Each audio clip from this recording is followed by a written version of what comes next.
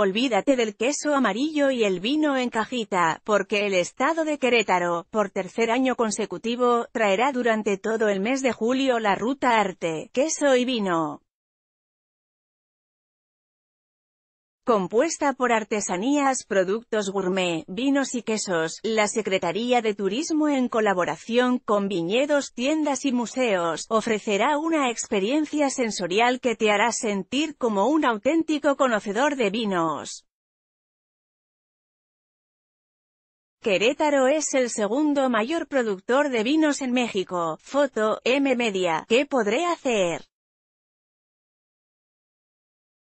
Dentro de las experiencias que podrás vivir, están la cata y degustación de vinos y quesos, la recreación de una cava vinícola y 12 fiestas de la vendimia en los distintos viñedos que se encuentran en el estado. Habrá catas de vino, Foto, revista con fines turismo, que son las fiestas de la vendimia, aunque actualmente son un excelente pretexto para divertirnos y conocer más sobre los vinos que tomamos y la forma en que son producidos. Las fiestas de la vendimia eran, antiguamente, la forma en que los agricultores agradecían a los dioses por la buena cosecha. Si decides asistir a alguna de las doce fiestas, te encontrarás con conciertos, catas y el famoso pisado de uvas. No te preocupes, nadie va a tomarse eso. El pisado de uvas es una actividad tradicional en las fiestas de la vendimia, foto, revista Aventurero, porque tantas fiestas.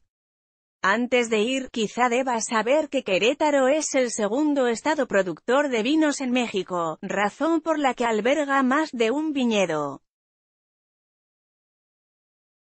Sabiendo esto, no es extraño que cada uno de ellos quiera celebrar su buena cosecha. Además, es un excelente pretexto para vivir esta experiencia más de una vez, podrás visitar las cavas y conocer el proceso de elaboración del vino.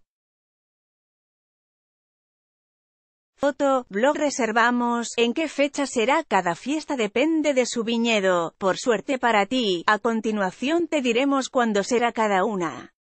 Si ya eres fanático de alguna casa productora de vino, puedes consultar la fecha en que tendrá su fiesta de la vendimia, y si no eres un experto en vinos o en marcas, puedes escoger simplemente la que te acomode más. 14 de julio en el viñedo Tierra de Alonso 21 y 22 de julio en Viñedos La Redonda 28 de julio en Viña de Atongo 28 y 29 de julio en Cavas Donato 28 y 29 de julio en Viñedos Los Rosales 3 a 5 de agosto en la finca Salavive de Freisenet 11 de agosto en Vinos El Marques 11 y 12 de agosto en Bodegas Vaiven 25 y 26 de agosto en Cava 578 y 9 de septiembre en Vinícola San Patricio y el 15 de septiembre en Viñedos Azteca cada viñedo tendrá su propia fiesta. Foto, zona turística, espera, y a todo esto porque el queso, cierto, el queso. Bueno, para empezar, existen pocas combinaciones mejores a la de queso y vino, pero más allá de eso, en Querétaro se encuentran una serie de ranchos de ovejas, cabras y vacas, dedicados a producir todo tipo de quesos, de manera principalmente artesanal e incluso orgánica.